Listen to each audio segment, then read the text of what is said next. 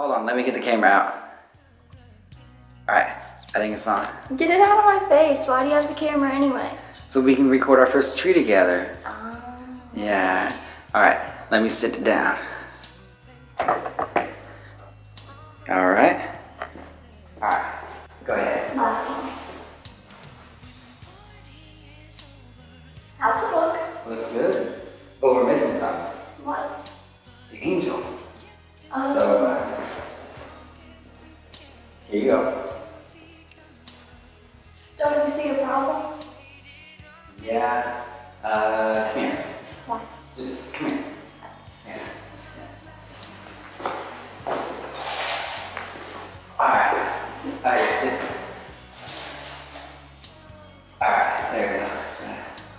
So why do I have to do that if you can't?